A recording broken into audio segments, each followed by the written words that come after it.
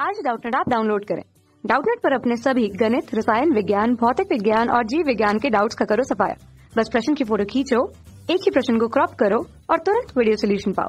अभी डाउनलोड करें। Hello friends हमारा प्रश्न इस प्रकार से कहता है कि निम्न में से किस स्पीसीज में केंद्रीय परमाणु sp2 संकृत कक्षक का प्रयोग बंद बनाने में करता है? मैं बताना है दोस्तों, नीचे दिए गए दोस्तों, यौगिकों या स्पीसीजों में से ऐसी कौन सी स्पीसीज है जो कि, जो उसका केंद्रीय परमाणु है, वो sp2 संकृत कक्षक जो होता है, उसका प्रयोग बंद बनाने में करता है। ठीक है दोस्तों, उसका प्रयोग बंद बनाने में करता है। तो दोस्तों, देखते हैं यहाँ पर अपने उत्तर की। दोस्तों, यहाँ पर देखते हैं अपने उत्तर को। ठीक है? और देखते हैं कौन सा दोस्तों यौगिक स्पीसीज sp2 दोस्तों sp2 संकृत कक्षक को बंद बनाने में प्रयोग करती है दोस्तों। ठीक है दोस्तों? केंद्रीय तो दोस्तों हमें यहाँ पर देखना होगा कार्बन का जो संकरण होता है वो हमें निकालना आना चाहिए। तो कार्बन का जो संकरण होता है दोस्तों, वो इस प्रकार से निकलता है दोस्तों।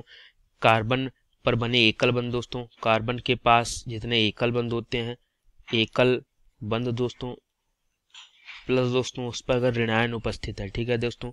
अगर इनकी संख्या दोस्तों इनकी दोस्तों जो संख्या है, उसको हम एन मान लें दोस्तों। तो एन बराबर अगर दोस्तों दो आता है तो संकरण एस पी होता है। दोस्तों, अगर एन बराबर तीन आता है तो संकरण एस पी टू होता है। और एन बराबर चार आता है तो संकरण एस पी थ्री होता है, ठीक है? दोस्तों तो हमसे पूछा गया है कि कहता है कि दोस्तों एस पी टू मतलब यहाँ पर जो एन का मान है, वो दोस्तों एन का मान हमारा जो है, वो तीन आना चाहिए, ठीक है? तभी दोस्तों ये जिसका संकरण एस पी टू आएगा, दोस्तों, वही एस पी टू को, वही दोस्तों जिसका संकरण दोस्तों sp2 आएगा, वही के, वही दोस्तों जो केंद्रीय परमाणु होगा, वो संकरित कक्षक का प्रयोग बंध बनाने में करेगा, ठीक है? तो हमें दोस्तों यहाँ पर सभी कार्बन का, जो कि केंद्रीय परमाणु है, उनका हमें संकरण निकालना है। तो ऑप्शन ए की बात करते हैं। ऑप्शन ए में दिया गया C two S six C two S six क्या होता है? सी एच थ्री दोस्तों इस प्रकार से रहता है, फिर से सिंगल बंद सी एस थ्री ठीक है? इस प्रकार से रहता है दोस्तों। ठीक है दोस्तों? यहाँ पर क्या होता है? दोस्तों, इस प्रकार से रहता है। ये दोस्तों, जैसे इस कार्बन को हम मान लेते हैं तो इसके पास एक एकल बंद है, दो एकल बंद है, तीन एकल बंद चार एकल बंद कोई ऋणायन नहीं है दोस्तों। एकल बंद की बात करें दोस्तों तो यहाँ पर चार है, ऋणायन कोई नहीं है तो चार प्लस ज़ीरो आएगा तो एन का मान दोस्तों जो आएगा, चार आएगा। चार का मतलब एस थ्री है। दोस्तों, हमने बताया कि एस टू संकरण होगा, तभी वो एस टू बंद बनाने जाएगा। बंद बनाने जाएगा, दोस्तों, जिसका संकरण sp2 होगा, ठीक है? तो यहाँ पर sp3 इसलिए गलत हो जाता है। बात करते हैं बी विकल्प की। बी विकल्प की बात करते हैं। दिया गया है CCl4 क्या दिया गया है? CCl4 ठीक है? CCl4 में C होता है, इस प्रकार से चार Cl लगे होते हैं। यहाँ पर अगर जो केंद्रीय परमाणु, एक कार्बन है हमारा, दोस्तों, इसके पास देखें तो एक एकल बंद, दो, तीन, चार, ठीक है? इसके बाद, दोस्तों, चार एकल बंद होते हैं।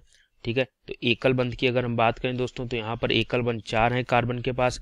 ऋणायन कितने हैं दोस्तों? तो ऋणायन दोस्तों, इसके पास एक भी नहीं है। ऋणायन कितने हैं? ज़ीरो है तो चार प्लस ज़ीरो अगर इसका भी देखें तो चार आएगा। चार का मतलब एसपी थ्री आएगा। एन मतलब चार आएगा मतलब एस थ्री संकरण रहेगा। और एस थ्री संकरण दोस्तों है तो यहाँ पर जो बंद बनाने जाएगा, वो एस थ्री जाएगा। इसलिए ये भी गलत हो जाता है। बात करते हैं अगले विकल्प सी की। क्या कहता है कि यहाँ पर सी एस थ्री धनायन दिया गया है। सी एस थ्री धनायन दिया गया है। एक कार्बन एच एच एच तीन हाइड्रोजन हो गए हैं इसके पास, एक धनायन है इस प्रकार से।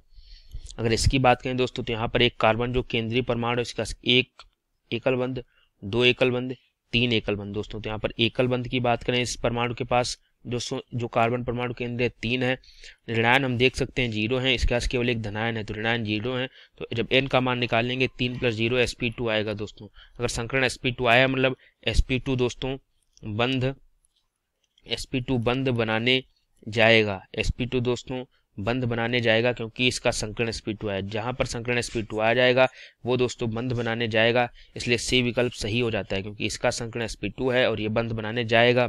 ठीक है, बात करते हैं डी विकल्प की। यहाँ पर दिया गया C H four C H four दिया गया सी है उस पर चार दोस्तों यहाँ पर हाइड्रोजन लगे यहाँ पर केंद्रीय परमाणु क्या है दोस्तों? केंद्रीय कार्बन परमाणु है, उसके पास दोस्तों इस प्रकार से, इस प्रकार से चार एकल बंद लगे हैं, ठीक है? केंद्रीय परमाणु, कार्बन उस पर चार एकल बंद लगे हैं।